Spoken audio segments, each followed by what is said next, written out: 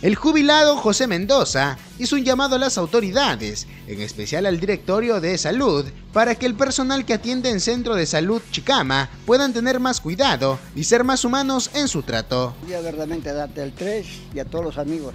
Verdaderamente mi inquietud es, más que todo, yo, yo veo lo que ha hecho el señor Bada como alcalde magníficamente.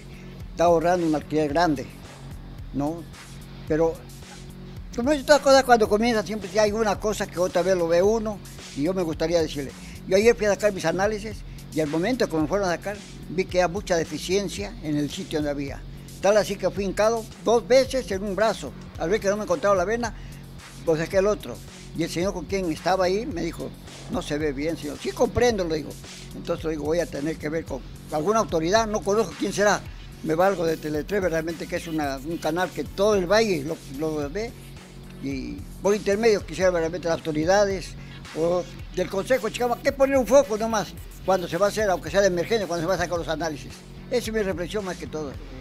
Asimismo, solicitó que los ambientes deben tener más iluminación para que realicen mejor su trabajo, teniendo en cuenta que hace unos días el personal médico tuvo que hincarle dos veces en cada brazo por falta de luz. Por tal motivo, exige una mejor atención al asegurado. Ayer estaba casualmente mi amigo, todo, un amigo me vio y me dijo, a ver lo que te vea, porque está con los dos, con venda los dos, con el esparadrapo. ¿Qué pasa? Le conté. Me dice, no, hay que dejar la salud. La salud está completamente mal, prácticamente. Yo recuerdo cuando trabajaba anteriormente, iba, pasaba consulta, me daban mi pasaje, me citaban para tal día, tal hora, y iba puntualmente. O llega, tiene que madrugar, no encuentran cita. Una persona de tercera edad, ve justo, peces cree que la atención está, como dicen, en buena calidad o de repente ir deficiente usted ve la atención? Muy deficiente, no es la de anteriormente.